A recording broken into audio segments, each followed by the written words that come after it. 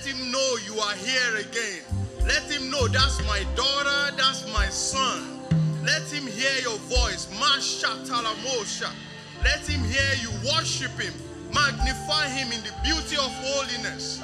Yes, Lord. Yes, Lord. You are our rock, our light, our salvation, our redeemer, our rewarder. We exalt you. Exalt Him. Lift Him up. Lift Him up. He deserves all the praise. He deserves all the glory. Magnify His holy name. He is the rock. He is the Lord, the maker of the heaven and the earth, the most powerful force on earth and in heaven. Nothing is above you. You are greater than all. Mighty God, magnificent King, awesome Father, ancient of days, the rock of ages, the higher than the highest, the one that is better than the best. We magnify your holy name. Exalt you, Lord. Glory and honor be to your name. In Jesus' mighty name, we worship. Quickly, I want us to open our Bible to Psalm 38, verse 22. Psalm 38,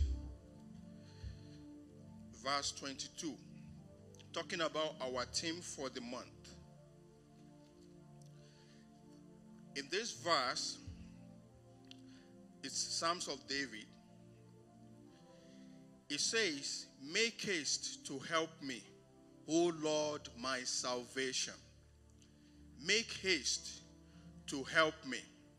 If the Lord is our help, if the Lord is our light, if indeed is our salvation, do we know what salvation means? It means redemption. It means deliverance. It can mean so many things to you. I want us to lift up, lift up our voice this morning and cry to the Lord. Lord, you are my salvation. Please make haste to help me. Do not delay any longer. Hear my voice this morning. Make haste according to your word. Make haste, O Lord, and deliver me and restore me and rescue me. Whatever salvation means to you, cry to the Lord in that regard. Lord, make haste. Do not delay any longer. Make haste to deliver me from enemy that is far more powerful than me. You are powerful than all. Make haste, O Lord. Make haste. Arise for my sake and deliver me from every form of affliction. Whatever that may means to you, Lord, make haste. It might be in your career, in your health. Father, make haste. Let it not take long any longer. Please arise for my sake and deliver me today. Make haste, O Lord my God. Arise, O Lord, in the name of Jesus. Arise for my sake. In Jesus' mighty name we pray.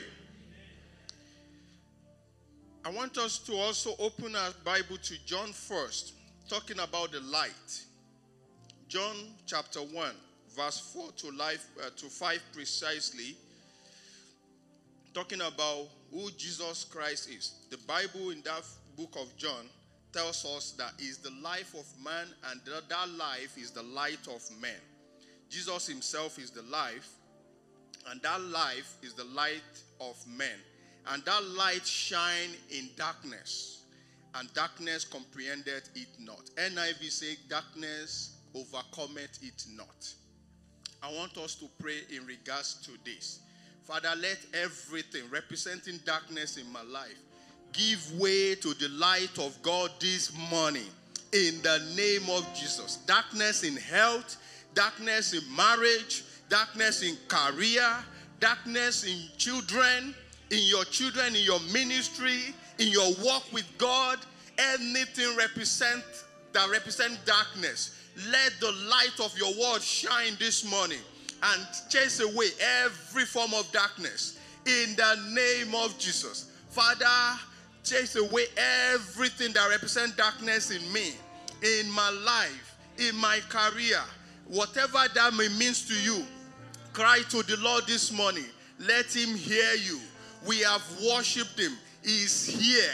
He can hear. His hand is not short to save. Cry unto him. Father, make haste and deliver me. Anything that represent darkness, chase them away by the light of your word. In the name of Jesus, let your light penetrate. Let your light go to where no man can go to and set me free and do mighty works in the name of Jesus. Father, let your light shine. Let your light shine in the name of Jesus. Upon my health, let your light shine. Upon my marriage, let your light shine. Upon my career, let your light shine. In the life of my children, Father, let your light shine. Let your light shine. In any form of situation that you are confronted with right now, cry to the Lord. Lord, let the light of your word shine and overtake every form of darkness. In Jesus' mighty name, we have prayed. Finally, I want us to open our scripture to Genesis chapter 1, verse 2 to 3 precisely. Here, God Himself speaking, and He said, When God was creating the universe, the heart as it is, everything was void and darkness was upon the face of the earth. And God declared, in verse 2, He says, And God said, Let there be light, and there was light. And God saw the light, uh, uh, sorry, 2 and 3 actually, from verse 2. From verse 2. And the earth was with, without form and void, and darkness was upon the face of the deep, and the Spirit of God moved upon the face of the waters. And in verse 3, that was the existing situation of the heart. But in verse 3, God declared, Let there be light. And darkness could not refuse. There was light. I want us to pray. Whatever that, that may mean to you, light may mean many things to many people. But in general, it means let there be good turnaround from my chaos. I want us to pray regarding this this morning. Lord, whatever the way you want to declare light into your situation, I want us to declare because we are children of God, as God declared when He saw the, the chaos on the face of the earth. Let's pray and declare, Lord, let there be healing if it's healing you need. Lord, let there be peace if it's peace you need. Lord, let there be calmness. Lord, let there be resolution. Let there be solution. Any form that you want, to, you want it to take, just declare this morning. Make it personal. Don't be generic. Let God know. Let there be deliverance. Let there be life in deadness. Let there be life and hope in hopelessness. In the name of Jesus. Speak to that situation in your life. Let God hear you. Father, in the name of Jesus, I declare, Lord, let there be In Jesus' mighty name, we pray.